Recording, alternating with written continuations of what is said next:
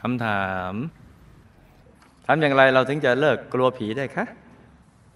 มาฟังกันเลย จะเลิกกลัวผีก็ให้คิดว่าเราต่างก็เป็นเพื่อนทุกข์เกิดแก่เจ็บตายด้วยกัน แล้วก็แผ่เมตตาให้สรรพสัตว์ทั้งหลายอยู่เย็นเป็นสุข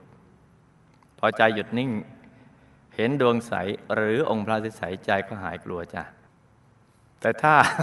ไม่เห็นก็ให้นึกถึงพระรัตนตรัยไว้ในใจ พอเปลี่ยน ความคิดจากผีมาเป็นพระก็หายกลัว ไอ้ที่กลัวเพราะ